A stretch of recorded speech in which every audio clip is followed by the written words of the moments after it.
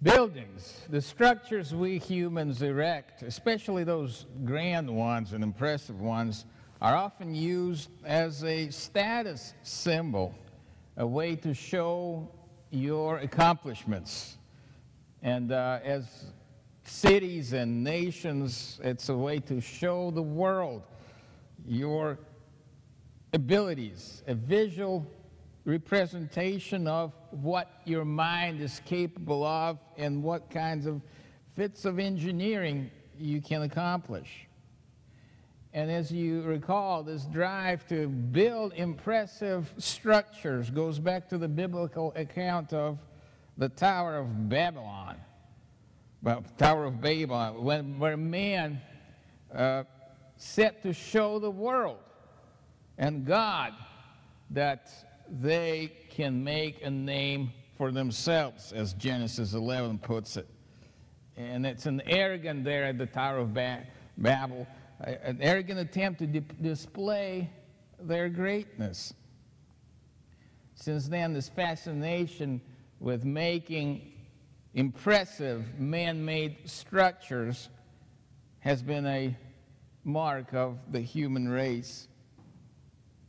Think about the Great Pyramid in Egypt, or the Colosseum in Rome, or the Great Wall in China, or the Hagia Sophia in Constantinople, Taj Mahal in India, and Notre Dame de Paris in France, the Empire State Building in New York, and Golden Gate Bridge in San Francisco, and countless of other impressive buildings and structures throughout the times and throughout the places cathedrals, fortresses, mosques, palaces, temples, dams, canals, skyscrapers, and lots and lots of other buildings provide us with a sense of pride and accomplishments and represent to us the greatness of our minds and the physical abilities to erect something that is so massive, yet solid and impressive and reliable. Buildings and structures are a means for human race or a nation or a culture to be evaluated for its importance. Think about what are you going to be impressed with more? A city filled with skyscrapers or a village made out of huts made out of straw and mud?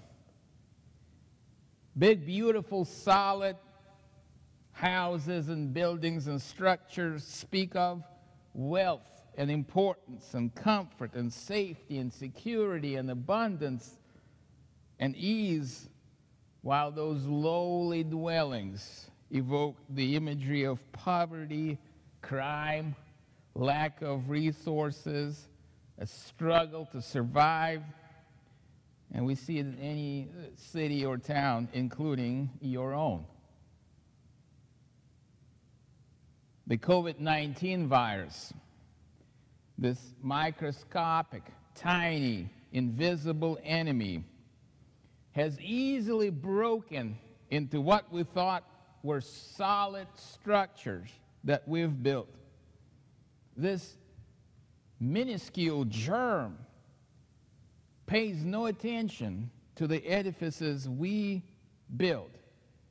He just breaks in, affecting all kinds of people, from skyscraper city dwellers to mobile home residents and everyone in between around the world, across our nation, within our state, right here in our county, and even in our city right now.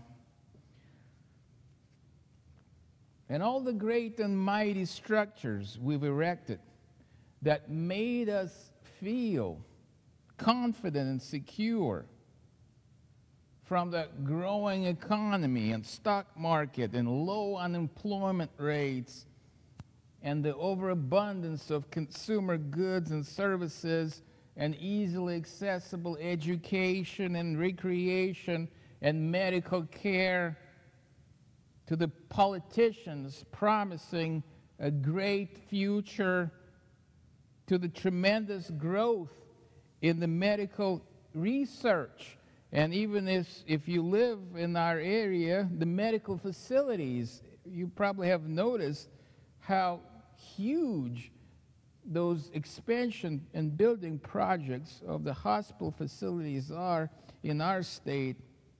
All of those man made fortresses that were meant to keep us safe and secure and confident and comfortable have been conquered by a tiny microscopic virus.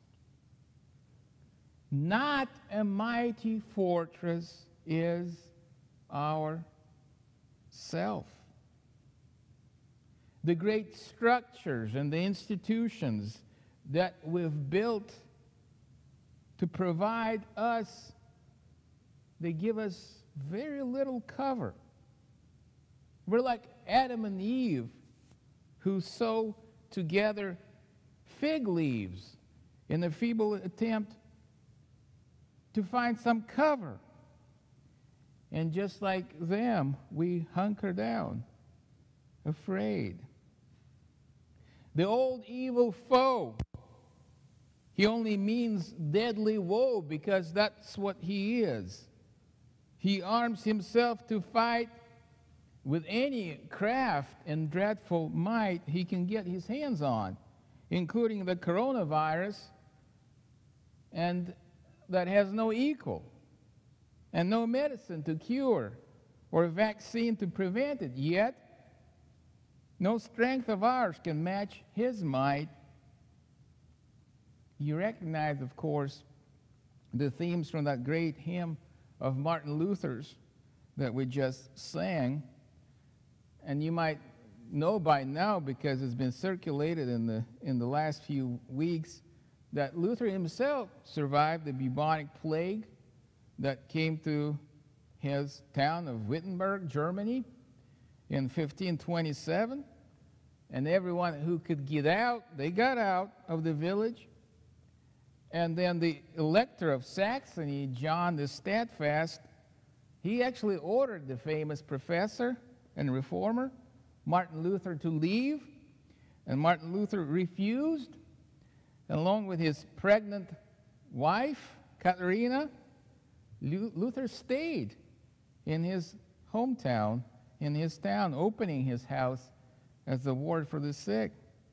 And two, later, two years later, he wrote the famous A Mighty Fortress is Our God. And as you know about this hymn, it speaks about our human institutions and our human aspects and realms. It speaks of the land, the world, the spouse, the children, and it speaks about all those institutions threatened by the enemy. But then it focuses on the spiritual side of the battles we fight.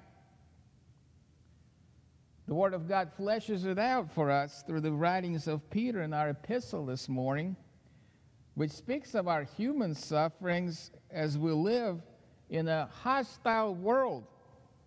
And it's using those strong words to describe it. Peter speaks of the people of God experiencing harm, fear, trouble, slander, being reviled or insulted and abused. But all those physical manifestations are a reflection of the spiritual battle that's underlying all of this. Let me read it to you.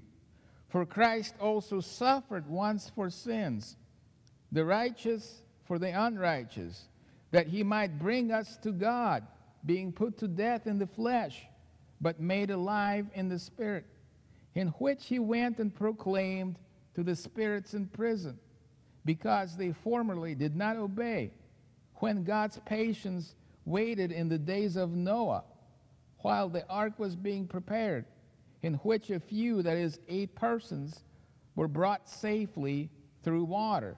Baptism, which corresponds to this, now saves you, not as the removal of dirt from the body, but as an appeal to God for a good conscience through the resurrection of Jesus Christ, who has gone into heaven and is at the right hand of God with angels, authorities, and powers having been subjected to him. In the days of Noah, as you recall, the people, the humans, grew so confident in their own minds and in their own abilities that they had no use for God and His Word. They no longer relied on God's provision, but in their arrogance considered themselves, their structures, their institutions, their ways of life, the strongholds, the foundations of their existence. And so when Noah built the ark, a floating fortress, to protect the faithful people of God, they openly slandered, reviled, insulted, abused, and laughed at him. To them, his building, that ark, wasn't anything of any value. Instead of boarding the God given ark of salvation, they continued to stick to their guns. But even before the flood waters filled the land and devoured them, they themselves beat those flood waters to the punch by devouring their lives in pleasures and pursuits of their own flesh that only fatten them for the slaughter to come. The devils of sin and death still fill our land, eager to devour us. And we still make their jobs easier by fattening ourselves, by consuming our lives in pursuit of the same flesh gratifying desires. There's no better confession for our pathetic state than this. No strength of ours can match his might. We would be lost rejected. It is therefore the sweetest word of the gospel that now a champion comes to fight, whom God Himself elected. He takes down the structures, the institutions, the earthly strongholds that we've built for ourselves that can't fight the devils and the virus. He drowns our arrogance and reliance on our human might and ushers us through the spear hewn door in the side of Christ, our ark, into the church where we are dry and safe from the rising waters. Through our baptism, which corresponds to this, as Peter points out. He brings us safely into the ark of the church, and he floods and drowns the sin and death in us. He feeds us the manna of his body and touches our lips with a chalice filled with blood that flowed from the rock of his riven side and God always holds us safe. Therefore, we will not fear, though an unmighty fortress is our life. The institutions that we've built, no more than sand castles when faced with death in its many forms. A mighty fortress is our God. The hymn is based on Psalm 46, which has these words God is our refuge and strength, and ever present help in trouble. Therefore, we will not fear, though the earth give way and the mountains fall into the heart of the sea, though its waters roar and foam and the mountains quake with their surging. Nations are in uproar, kingdoms fall. He lifts his voice, the earth melts. The Lord Almighty is with us. The God of Jacob is our fortress. Be still and know that I am God. I will be exalted among the nations. I will be exalted in the earth. The Lord Almighty is with us. The God of Jacob is our fortress.